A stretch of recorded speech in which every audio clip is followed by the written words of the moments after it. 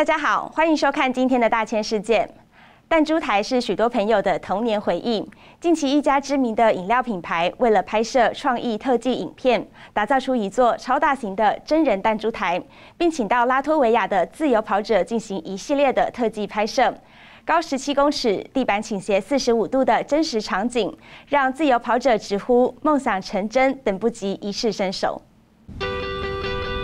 下遮蔽物，一台童年弹珠台出现在眼前，插上电源，拉动握杆，里面出现的竟是一名年轻男子，在弹珠台里由上方落下，灵活的身躯变换着各种帅气姿势。这可不是后置特效影片，而是知名运动饮料品牌为了拍摄创意特技影片打造出的大型人体弹珠台。Hey, my name is Pasha, and we're here in London on the biggest freerunning set in history. Check it out, it's huge. This is it, it's a giant pinball machine. It weighs 23 tons and it's 20 meters long. It's so steep, it's 45 degrees! How crazy is that? My dream has come true. Stay tuned and get ready for new challenges! Ouch! Stay tuned. 这座花费七周打造的大型真人弹珠台，还藏有许多小巧思，像是巴黎的埃菲尔铁塔、自由女神像、日本鸟居等全球标志性地标。不可思议的倾斜四十五度地板，连导演也捏一把冷汗。自由跑者帕夏用精湛的特技演绎人体弹珠，最后拍出令人惊艳的创意影片。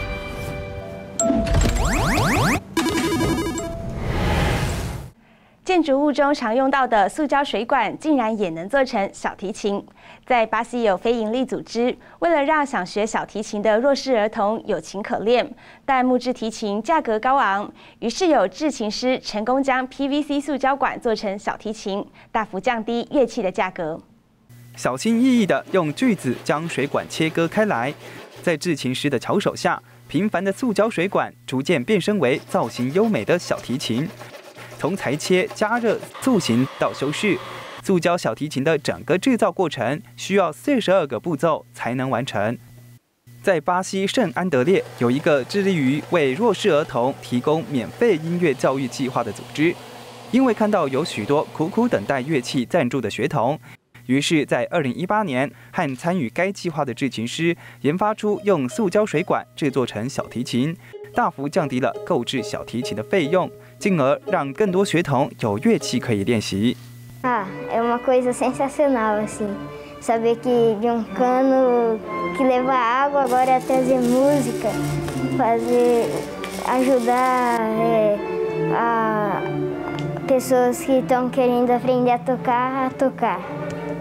由该计划的赞助商增捐的塑胶管，除了能做成小提琴外，还能做成大提琴。在巴西市面上，一把木质小提琴约为八百黑澳，相当于新台币四千两百多元。但由塑胶管制成的小提琴只要三百黑澳，折合为一千五百多台币，还不到木质小提琴平均市价的一半。O mais importante é isso, levar a música para todas as as casas, todas as pessoas, né? 该组织每天都会为七到十七岁的低收入户儿童和青少年提供一个半小时的免费音乐课程。目前学生人数超过八十名，已组成一个管弦乐队，并定期举办演奏会。位于西班牙加纳利群岛拉帕马岛上南部的老风火山，在九月十九号首次爆发，摧毁该岛至少一百二十栋房子，超过六千人被疏散。不过，有人发现，竟然有一栋小屋在灾难中屹立不摇，没有被波及。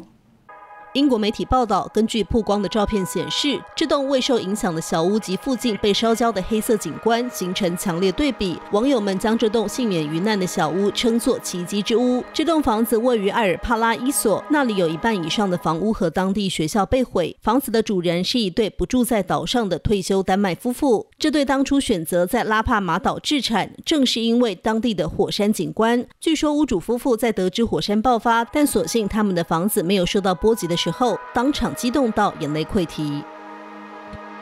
SpaceX 全素人太空团已经在九月十八号平安返回地球，在太空待了三天，他们都做了哪些有趣的事呢？来看看他们的分享。一团橘色火球划破美国佛罗里达州的夜空，SpaceX 素人太空团的火箭飞船逐渐远离地球。接下来，太空船与推进火箭分离，周围出现巨大白色光晕。四名业余太空人登上成龙太空船，在太空中停留近三天。他们透过实况画面，将太空中见到的美丽景象传送给大众。the window, we can see the entire parameter of the Earth, which is so beautiful. And so I hope that you're getting to see what we see, which is passing over some really beautiful water. 同时，他们也分享了太空船上的生活。虽然离开地球表面，太空人还是喜欢弹琴作画。So it's been a lot of fun getting some practice on some music while we're floating around the Earth. So I can play a little for you.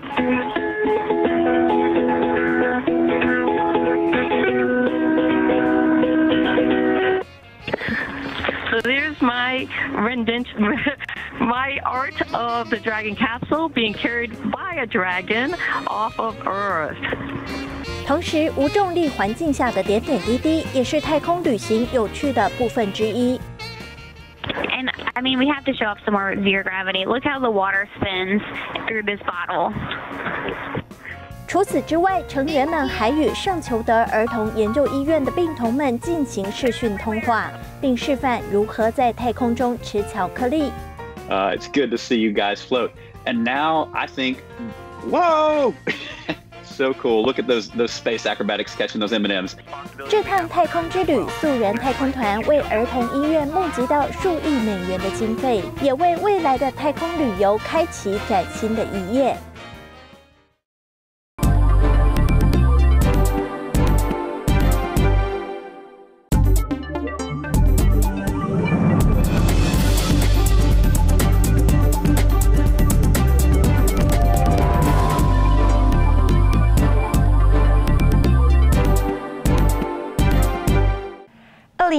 年金氏世界纪录大全出版了。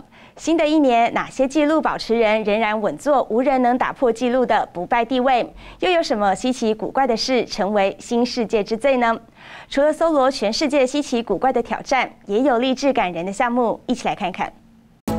第一个来看到，在美国，世界上耳朵最长的狗狗鹿，它的耳朵长达三十四公分，成为耳朵最长的纪录保持狗。在美国出生时就没有腿的西安·克拉克，二十公尺以手步行，仅花了四点七八秒时间，成为世界用手走路最快的纪录保持人。To be a Guinness World Record title holder, um, to me that means that one, I'm an elite, I'm one of the top dogs, but at the same time, it also means that my family's winning, my town's winning, and my support group's winning because without them, I wouldn't be here doing this for you guys. 英国的博达尼洛奇从小就是一名体操运动员，他达成了一百公尺前滚翻四十二点六四秒的世界最快纪录保持，还有在三十秒内完成五个后空翻立卧撑跳的最多次女性世界纪录。It feels incredible to achieve a Guinness World Record title. It's something that I never even considered doing. I always used to get the books when I was little and used to read through them and just look at all the incredible things that people could do. And so it's, it's kind of surreal to then know that I have gotten a record title and to see that in the book there's my name and I've got the certificates. I, you sort of, it makes you pinch yourself a little bit. 在印度健美运动员普拉提克莫希特身高仅一百零二公分，是世界最矮的健美运动员，世界纪录保持人。 而在荷兰，则有世界最高男性健美运动员，有着荷兰巨人称号的奥利维尔·里克特斯，身高有两百一十八点三公分。世界最高女性健美运动员也在荷兰，身高一百八十二点七公分的玛利亚·瓦特尔成为纪录保持人。Hello, I am Elizabeth. 德国双胞胎姐妹伊丽莎白和凯瑟琳娜平均身高一百二十八公分，是世界最矮的女双胞胎。凯瑟琳娜说：“没有什么大不了的，是他们的座右铭。”加拿大人奥利维尔·里奥身高有两百二十六点九公分，成为新世界最高的男性青少年纪录保持人。I see a page that is the tallest uh, teenager, and he wasn't tall as me. So I was like, oh, maybe I can get it, and I get it. So 来自象牙海岸的艺术家朱蒂西亚基，将她的长发编成辫子，添加一部分假发变成跳绳，达成在三十秒内跳过六十次的最多纪录。朱蒂西亚同时也是模特儿和女演员，她以头发塑形艺术而闻名。来自加拿大的小狗棒棒糖和猫咪生鱼片，它们的主人梅丽莎米利特是一名电影、电视、现场表演和家庭宠物训练的动物训练师。猫咪站在滑板车前半步不动，稳住龙头；小狗以单脚在地上滑，猫狗合作溜滑板车五公尺远，仅以四点三七秒的时间就到达，创下世界纪录。法国长棍面包虽然原料简单，不过要做出外酥内软、越嚼越香的口感，那可要看手艺了。来看看巴黎最佳面包师的秘诀是什么？面包师塞巴斯蒂安·莫维厄曾在2012年巴黎最佳法式长棍比赛中一举夺魁，在本周五，他还将再次角逐2021年比赛的冠军。冠军将获得向法国总统府提供法式长棍面包的殊荣。除此之外，这也会为自己的生意带来巨大的增长，因为大家都很好奇法国总统吃的面包到底有什么不同之处。Alors, en fin de compte, du jour au lendemain, de 300 traditions, on était passé à 900 traditions. 莫维厄介绍，传统的法式常规面包原料非常简单，只需要四样东西：小麦粉，再加上盐、酵母和水。不过，制作的技术会因人而异，有些人会使用天然酵母，有些人会让它自己发酵。而莫维厄通常会加非常少的酵母，却要在烤制的前一天晚上揉好面团，让它经过一整晚的静置发酵。虽然莫维厄没有直接透露制作法棍的秘诀，但他的回答也是话中有话的。Secret, je ne sais pas s'il y a vraiment un secret. Ça, il faut faut donner de l'amour dans son métier déjà, ça c'est sûr. Du temps pour avoir une bonne baguette. 把面团揉成长棍形，切好纹路，放入烤箱。黄澄澄的法式面包出炉了，来听听顾客的感受吧。You have to buy three. The first one you eat as you're walking home. The second one is for your meal, and the third one goes into the freezer. 考古学家最新发布的一份研究报告显示，在美国新墨西哥州发现的人类脚印化石，证实了早期人类大约在两万三千年前就已经抵达北美。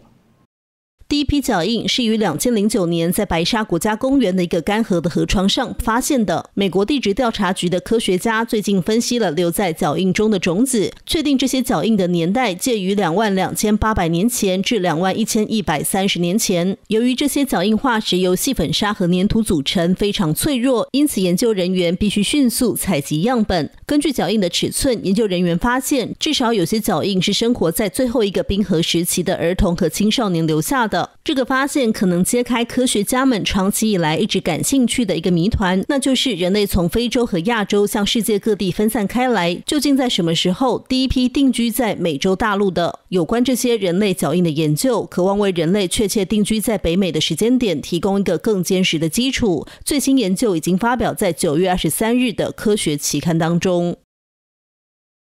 英国每年都会举行一场特别的高尔夫球赛，在比进球的同时，还要在最短时间内打完十八洞。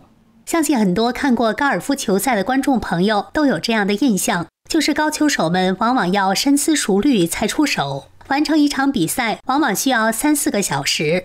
然而，英国的快速高尔夫球锦标赛则要求高球手们不仅要打得准，而且要打得快，看谁能在最短的时间内完成十八洞。为了减少时间，高球手们需要跑步抵达各洞，而且球员们使用的球杆数也最多只有七支。每位选手都是自己提着球袋跑。今年的比赛也首次增加到两回合，也就是两天三十六洞的比赛。这对高球手们的体力、耐力以及反应力来说，也是更大的考验。经过激烈快速的角逐，锦标赛冠军由 PGA 职业选手卢克·威利特夺得。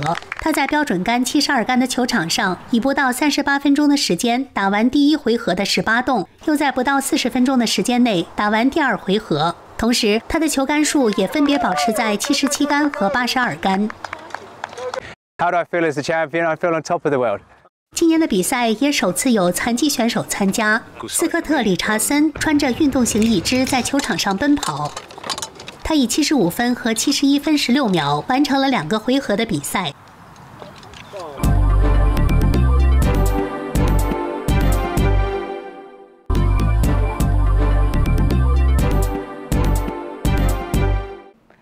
的哥白尼大气监测服务发现，南极上空的臭氧层空洞最近突然增大，目前已经超过了南极洲的面积。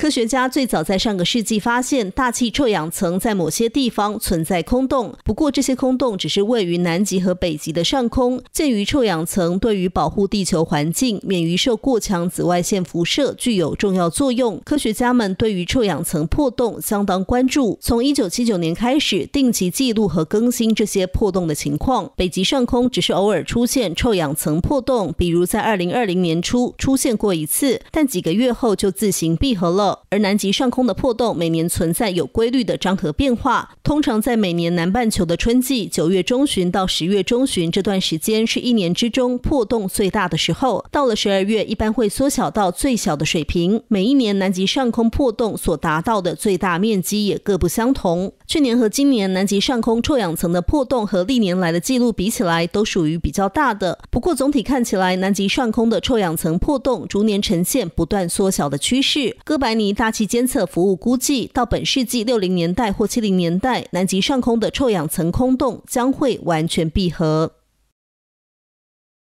随着夏季放牧期结束，阿尔卑斯山的牧人开始赶牛群下山，进行一年一度的牛群大游行。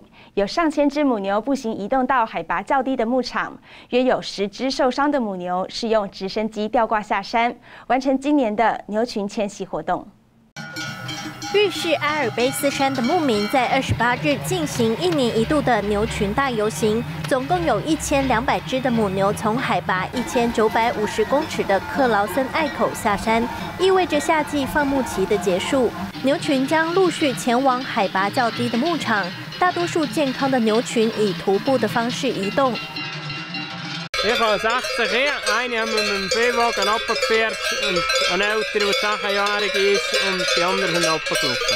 他们在山上放牧了七个礼拜后，牛群们一早从五点开始，五十名骆农摇着铃铛，带着自家的牛群出发，前往乌里州厄内伯登的山谷牧场。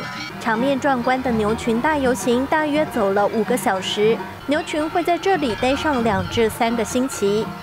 而有十只受伤的母牛，因为它们所在的位置汽车无法到达，在前一天用直升机吊挂空运，已经平安下山。日本早在公元七世纪前就输入中国园林艺术，逐渐发展成日本独特的园林文化，形成三大日本庭院样式，其中以池泉庭院历史最为悠久。一起去看看。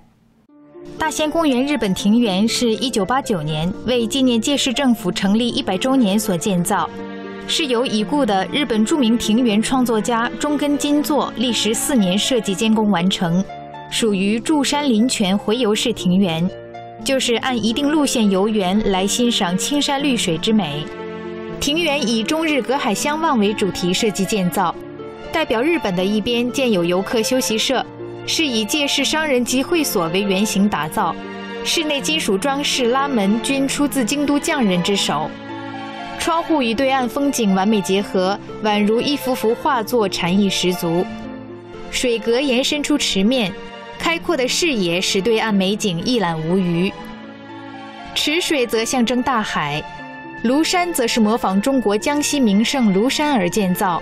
日本的造园艺术承袭秦汉之典。用池中建岛仿海上神仙，岩石、溪水、草木都按自然布景，并设有瀑布加以点缀。池中还有鲤鱼和野鸭等动物增添生机。世界遺産の中にある日本庭園と、これもなかなかないんじゃないかなと。この日本庭園の場合はその思いがすごく込められている。非常に残念なことに中国の庭園というのがほとんどまあ申し訳ない壊されてしまったというなくなってしまっている。 でそれを、えー、日本はですね、まあ、飛鳥時代からずっと残してきた。不大的土地上浓缩了大自然的美景，是人们夏天避暑、陶冶情操的不二之选。新唐人日本记者站报道。 数位化时代，拍摄一张照片不用一秒钟就可以完成，很难想象一百六十多年前拍照是一件多么浩大且繁琐的工程。经营照相馆的郭建良，从传统赛璐璐底片接触摄影，历经数位化后又重回古典摄影术。郭建良说：“透过要进暗房显影的湿板摄影，让他重新找回拍摄的乐趣。透过镜头，带您一起去体验十九世纪的传统摄影工艺。”来，预备哦！三、二、一，开始！一、二、三、四、五，好。摄影师郭建良把刚拍好的照片进行暗房显影，因为照片一经光线照射，影像便会消失，所以底片在进行显影、定影和水洗的过程中，都要保持在湿润的情况下完成。再根据喜好，把底片做成正片或者负片的摄影技术。现在把底片拿出来，那我们现在就要来做显影的动作。你现在慢慢看到影像就浮现出来了。显影完成，我们就可以拿出去来做室外来做定影。郭建良拿着五六零年代的测光器测光，并熟练操作古老蛇腹相机。由于石板工艺感光度极低，拍摄一张照片需要一些时间。这种古老的石板摄影已经逐渐被数位化摄影所取代。拍摄跟呃冲洗要连成一贯。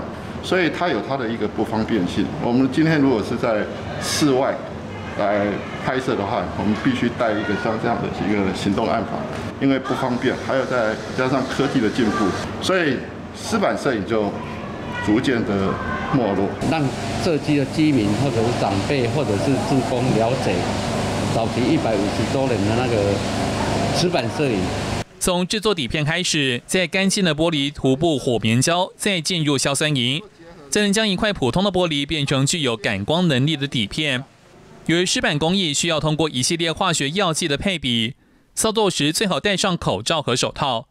可以用这种负相呢，当做一个底片，我们可以去复制，用蓝晒做成一张照片。